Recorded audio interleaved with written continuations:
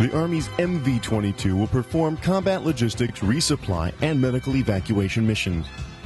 The Navy will initially receive 50 HV 22s for combat search and rescue, with the possibility for 300 more for use in anti submarine warfare. Strike Team Transportation is the Air Force mission for Osprey, and they expect their CV 22 to play an important role in anti terrorist operations. As unusual as this multi service program will be, its acquisition will also break new ground. Under a unique Department of Defense procurement policy, the Tiltrotor team of Bell Helicopter Textron and Boeing Vertol Company will pay for their own manufacturing tooling. Both contractors have also agreed to stringent conditions of acceptance and performance. Yes, it's the uh, the model of Navy procurement. Uh, we try to introduce cost control for the life of the program. We have competition as our, our cornerstone. We have a fixed price development, which uh, I believe is the first airplane that's really really gone into a development where it's fixed price. And then we have two contractors building the airplane. When we get into production, we're going to place them one against the other so we don't get caught in that sole source environment where I told you it was going to cost $10, but, but now I'm the only game in town, it's really going to cost you $25. A valuable aircraft like Osprey will not be inexpensive to build. Estimates vary, but the V 22 will certainly cost more than either a comparably sized helicopter or airplane. I can give you numbers that, uh, that range all over the, the ballpark. Let me give you the easiest one to understand, which is what we call recurring flyaway. And that's as the airplane flies over the factory fence, what's the cost of everything that's in it and, and on it. And that'll average about $16 million a copy. Bell will be responsible for developing the wing, nacelles, prop rotor, and drive system assemblies. One advance here is nacelle access cowls with built-in work platforms for easier maintenance. The 6,000 horsepower turboshaft engines, the T406 AD400 built by General Motors Allison Division, are a low-risk component that evolved from previously successful Allison power plants. Like the XV-15, the V-22 will have single-engine capabilities. Alan Shane. There's an interconnect shaft uh, between the two rotors connecting actually the, the drive systems in each nacelle across uh, through the wing. Uh, the, the cross shaft or the interconnect shaft is normally unloaded and so it would only pick up torque in the event of a of something like a rolling motion of the aircraft loading up one side and unloading the other, uh, or in the event of an engine failure.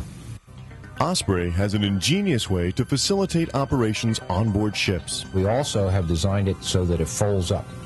The propellers, if you will, index and all fold in along the leading edge of the wing. Then the entire wing rotates to align itself with the fuselage. Uh, all this, by the way, can take place in a 60 knot wind in 90 seconds. It doesn't fly very well when it's in that configuration, so it, we can undo it in a 60 knot wind in 90 seconds, too. Boeing Vertol is responsible for the fuselage structure. The cabin is 24 feet long, 6 feet wide, and can seat 24 combat equipped troops.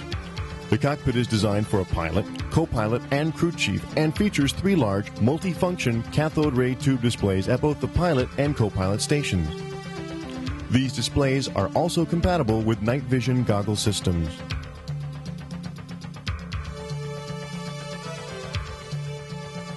The large protrusions on either side of the fuselage are called sponsons. These will carry fuel and house the landing gear. The V-22's tail or empennage section consists of horizontal and vertical stabilizers, rudders, and an elevator. A major factor in tilt rotor selection by the armed services is its ability to self-deploy. The Marine Corps helicopter it replaces cannot. If this aircraft offers such advances in performance and capabilities, why wasn't it built sooner? One possible answer as much as the tilt rotor concept is a blending of diverse elements, the modern Osprey is made up of many make or break technologies like composite materials, fly by wire flight controls, new prop rotor structures, and aerodynamics, all of which have only appeared in the last decade or so. The coming of the Osprey will usher in a new era in military flight. To say that our air transportation system has capacity problems is stating the obvious. Runways, terminals, access roads, neighboring highways are all straining under the load, particularly in the northeastern United States. All weather operations dictate costly snow removal efforts to keep these roads and runways clear. We are experiencing considerable congestion in the metropolitan New York, New Jersey region. Our three airports are currently handling some 80 million passengers a year, and with the projected growth in traffic, uh, the existing congestion will probably worsen. So we look to uh, solutions to, uh, to, to increase capacity and uh, alleviate the congestion. And we view this as a possible, this the civil tilt rotor, as offering a possible new, totally uh, VTOL short-haul transportation system that would operate city center to city center. And if that should prove feasible, that would allow the diversion of some of the short-haul traffic, say New York to Washington, New York to Boston, to be diverted from uh, LaGuardia and Newark in particular, uh, thereby creating additional capacity at those airports and creating a whole new system using downtown facilities. For many travelers, getting to and from the airport, struggling through a crowded terminal, and suffering departure or arrival delays takes longer than the flight.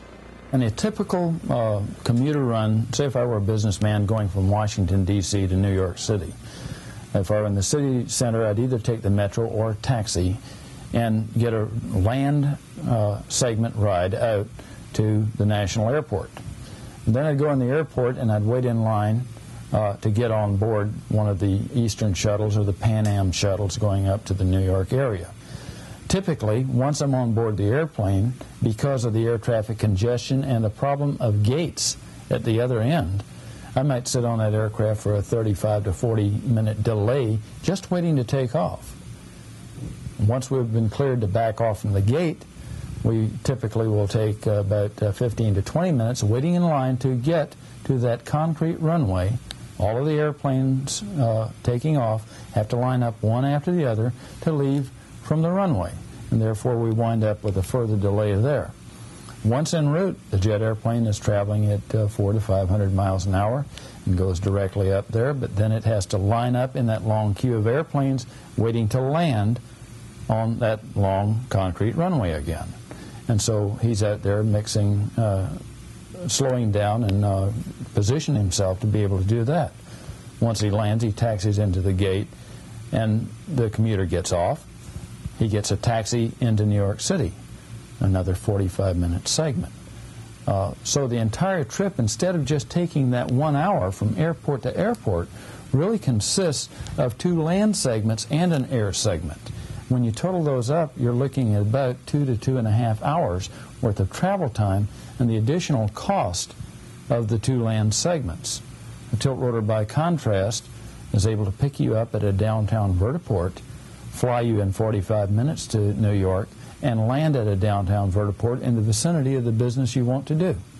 It's fairly certain that existing airports will have to serve the medium and long haul markets in the future, since there is, understandably, opposition to new jetport construction. The problem of communities in, in creating any new facilities is, uh, is a very formidable one. Okay, we, we've had experience in the past where we endeavored to build a new jetport. That was in the 1960s. And the people in the area of the site that we had selected uh, violently uh, opposed the project and succeeded in getting and bringing political pressures to, uh, to, to, virtually prohibit any such facility. Uh, all of that is to say that uh, you, you can't underestimate the importance of the communities. And uh, we would hope, though, that by demonstrating how quiet the aircraft is, and that the ability to locate these along the waterfront where you can take off over water, uh, that, that, hopefully um, the communities might accept such a facility.